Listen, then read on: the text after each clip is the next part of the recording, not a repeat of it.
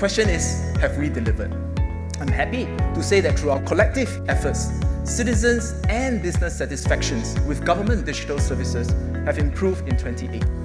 In a survey that we conducted last year, respondents gave us a 5 out of 6 in satisfaction with government digital services. 97% would recommend using government digital services for their families and their friends, and they rated us very highly on reliability and agreed that our services are increasingly designed and built around their needs. SG Tech Stack will allow us to build for scale.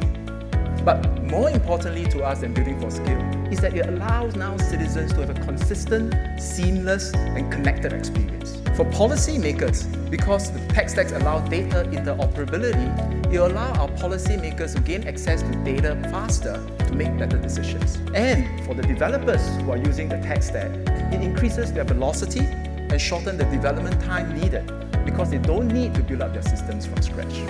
We want to transform our lives for the better and together, we have what it takes to achieve this vision.